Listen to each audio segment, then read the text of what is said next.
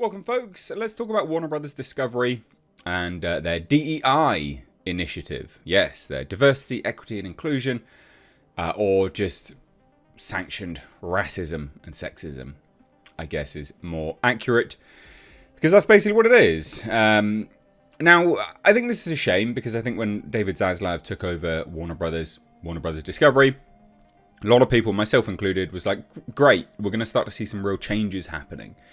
Uh, and, you know, we have seen some real changes happening. There has been some really decent changes, actually. They've done some relatively good stuff. And the cash flow that they have shows that as well. But then we get stuff like this. Uh, whereas they still have a DEI officer. What are you doing? Checking people's genitals and stuff like this? It's not relevant. It's not relevant to the work you do. And clearly, when businesses are failing, something's not right, something's not working. Should probably focus more on meritocracy than what's flapping between your legs or what is not flapping between your legs. Or where you choose to put said thing between your legs. Um, so let's take a look because this these comments are insane, to say the least. Uh, so hit subscribe if you're new here, turn the bell notifications on. And please do, ladies and gents, if you want to support the channel, check out my merch store, mrhshop.com. There's some really fun designs on there, some brand new designs, some not so new stuff, but stuff that you guys have liked in the past. So check it out, it's linked down below. Anyway,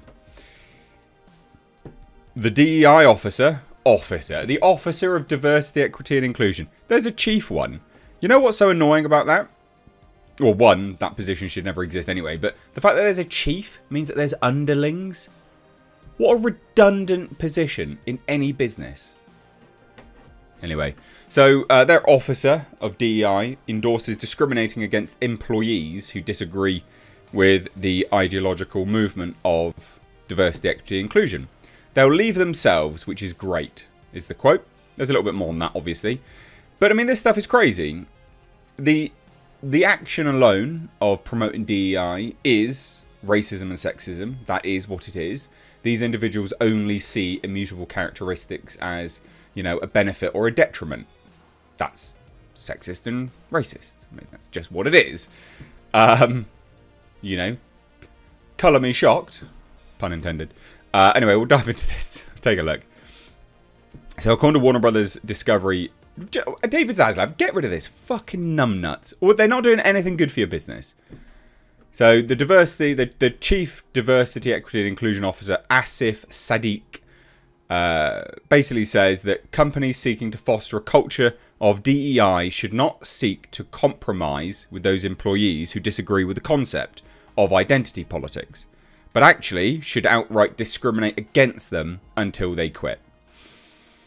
So we now know clearly what, where Suicide Squad Kill the Justice League came from.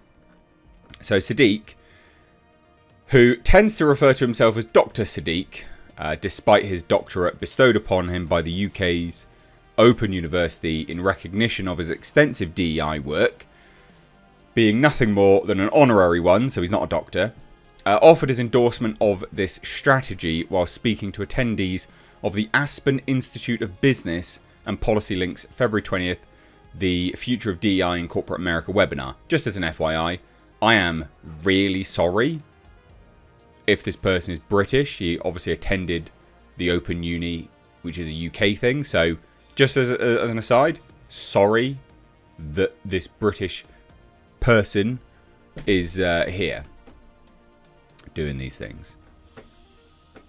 So, per a clip of the event shared to Twitter by user Memology101, the topic of how to deal with employees who might disagree with the company's turn to DEI was first. I mean, heaven forbid there be a bit of democracy uh, was first touched upon by one of the webinar's other panelists, Glodman Sachs. It's Goodman Sachs, isn't it?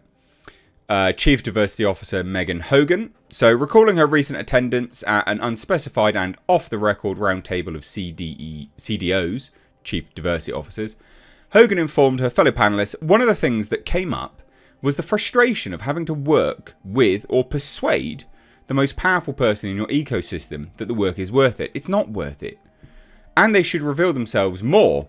They should take a bigger role for whatever it is. And we came up with this strategy Find your people and ignore the person you cannot persuade. What? So Warner Brothers Discovery Chief DEI Officer Dr. Asif Sadiq promotes, and this is what Memology said, uh, not working with, ignoring, and discriminating against employees who don't who do not support their wank agenda. So it, they continued further. This is the Goldman Sachs uh, or Goodman Sachs Goldman. I can't remember anyway. Uh, you know exactly who you who they are, and if you can't bring yourself to ignore them altogether because of your professional orientation, give it 30 days. Ignore them for 30 days. Don't take the bait. Don't send them the clip. Don't send them the newsletter. Don't send them the pitch deck. Just focus on the people who are willing to do the work. Willing to do the work. Do you see how how it's like this is a cult?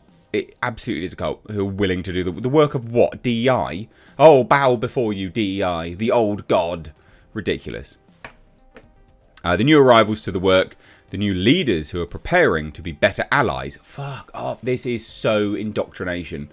This is such a cult. To be more vulnerable, to communicate better, and find your people even outside of your organization who can help you fine tune, who can help you make sure you're not reading the situation wrong and let you know that you're not alone. Just as an FYI, and I think it's important to note, if anyone disagrees with me on any of these things, please do just look around at the world and ask yourself, is everyone happier now that they've focused on immutable characteristics than when they did not? Hmm? Hmm? People are miserable, and this is part of it. You know, because you've got a dick, that's right, we're going to discriminate against you. You know, because you're black, we're going to discriminate for you. All this kind of nonsense is garbage. Uh, but absolutely do not get caught up into the spin cycle of trying to persuade the most powerful person that you know who is not interested to be interested because they're not coming. 30 days, you can do it. Anyway, Warner Brothers Discovery continued and says you'll never convince them. You can try up until the end of eternity and it will still not happen. We waste so much energy doing that sometimes. Yet will we waste money paying you? As individuals, whether you're in a leadership position or on a team and so on. Uh, Sadiq then uh, called on companies to ignore any employees who might disagree with DEI ideology. He said, focus on the ones who want to change because that way you start changing culture. And if you change culture, often those people who don't want to come around will start saying, this place isn't the way it used to be, and they'll leave themselves, which is great. Right. So just subvert the entire business until people choose to leave. That's pretty scummy. Especially considering those people could be really good workers, but these people don't care about workers, they care about immutable characteristics. Uh, continued further, rather than focusing on those things you can't impact or can't change, focus focusing on those things you can impact and you can change is so important. Even when we're trying to look at potentially what sort of programs, things we're doing. I think it's a great opportunity to double down our efforts on things, to do an audit of what's worked and what hasn't. Where do we put more effort into? Where do we reduce effort? So don't necessarily see reducing or changing something as a negative. It can be a positive. It's how you create that mindset. This person is scum. This whole stuff is scum. Uh, and it's no wonder that they made Suicide Squad kill the Justice League. And it's no wonder that they hired Sweet Baby Inc. So, just as an FYI, uh, my thoughts on Warner Brothers Discovery, they can go fuck themselves for quite a while now. Because no business should have a chief officer of diversity, equity, and inclusion. It is a redundant role, and it's just sanctioned racism and sexism.